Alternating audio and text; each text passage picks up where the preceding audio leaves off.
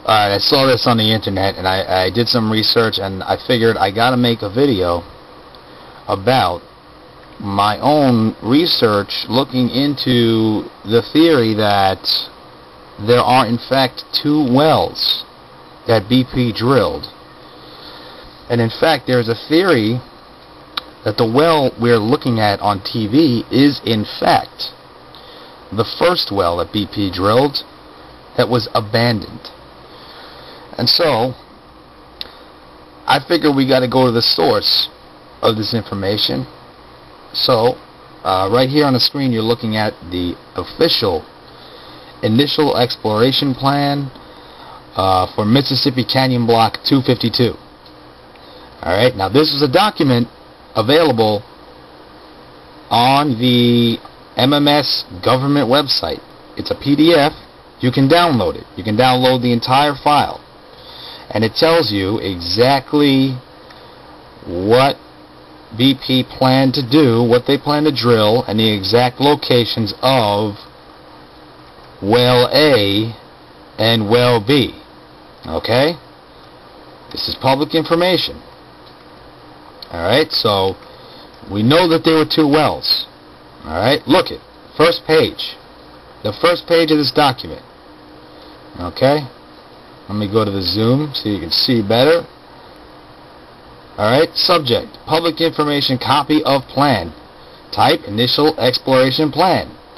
Lease, okay, this is, this is for a land lease for an area in the Gulf of Mexico called 252 Mississippi Canyon area. Alright, now BP is saying that this is well MC252. That's a crock, ladies and gentlemen. There is no well MC52. Okay? There's Mississippi Canyon Block 252, in which that area there are two wells. Description, well A and well B. BP exploration. Alright? And they tell you the type of rig. Attaches a copy of the plan. And this was they, they, they submitted this to MMS. Alright? And it was approved. Alright, now let's go. Let's let's go a little further and let's see exactly what the plan was. Alright? This is this is serious information that has to be made common knowledge. Alright? Now here right here is a uh, a coordinate map of exactly where the wells were. Alright? And I'm going to get back to that in a second. So I'm going to breeze past that. Let's go past the table of contents. Alright, section 1. Plan contents. Alright, section 1.0. Plan contents. Under this exploration plan, BP Exploration and Production Inc. proposes to drill, and here's the key, ladies and gentlemen, proposes to drill and temporarily abandon two exploratory wells in the Macondo project area. Alright, now this is this is key. They plan to abandon both of these wells from the get-go. Now we know as a fact that there was a well drilled, I believe back in October of 2009, that uh, first of all the rig was damaged in Hurricane Ike, so they had to change the rig, and then back in February, uh, they restarted I think in January, and then back in February they were having problems with it, and subsequently they had to abandon well A. Alright? And that's that is public testimony of Mike Williams. And you can see it all on the 60 Minutes document uh, on the 60 Minutes documentary. Alright? And they say they drilled the well, they had problems, and they abandoned it. So they drilled a second well. Is that what I'm to believe? You're damn right it's what I'm to believe. Okay? Now this is just other technical information about the uh, characteristics of the rig. Alright.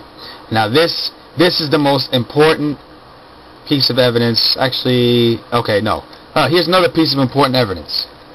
Here's another piece of important evidence, alright? U.S. Department of the Interior. OMB control number. U.S. Department of Interior, okay, Minerals Man Management Service. This this U.S. Department of the Interior is run by Ken Salazar. That is the person we should be demanding answers from, ladies and gentlemen. Ken Salazar, the head of the Department of the Interior. So, let's see. Okay, over here they have general information. BP Exploration gives you the address, contact persons. Okay. Uh, objectives, oil. See that little X? There's an X in the oil space. That means that that's where they uh, that's what they plan to do. You don't see an X in a gas or sulfur or salt option. Okay, you don't see any of that. So now let's go down lower. Description of proposed activities. Mark all that apply.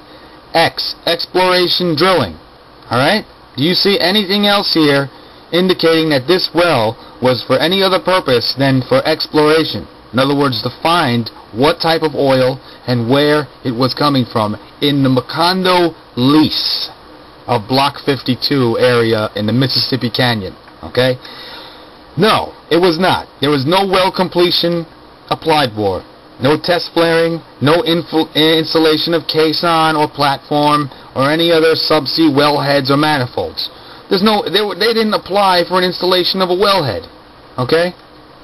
Now, this was an initial plan, so maybe there were subsequent plans that, that, that override road that overrode this, okay? Now look, look at this. I mean, ladies and gentlemen, this is the most damning evidence I've ever seen in my entire life.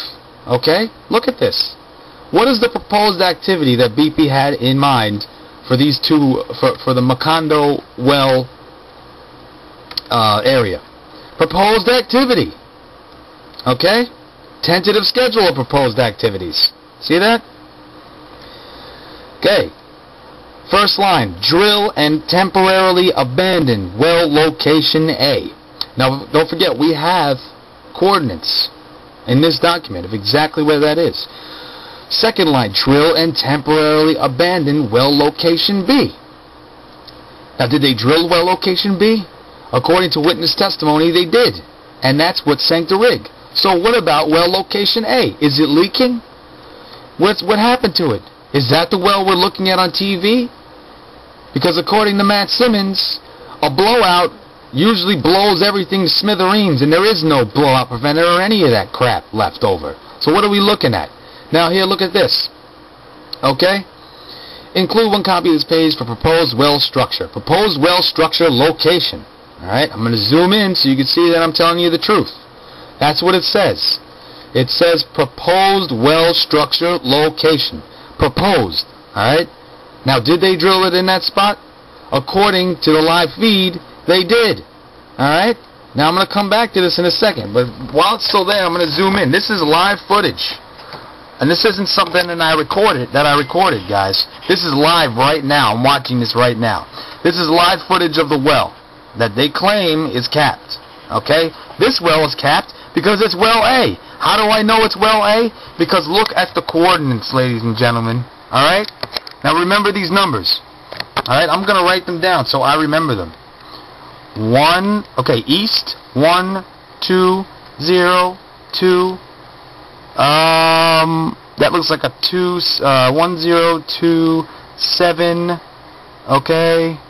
Uh, it's changing to two eight, so it's two seven two eight two nine three. Um, actually, that's a nine nine. The camera's having trouble picking that up, but nine nine dot oh one. The dot oh one at the this dot oh one at the end is irrelevant because that's just the this is such a an accurate measurement. I don't think that the measurement in the, in the report is that accurate. So now let's look at north. North. Okay.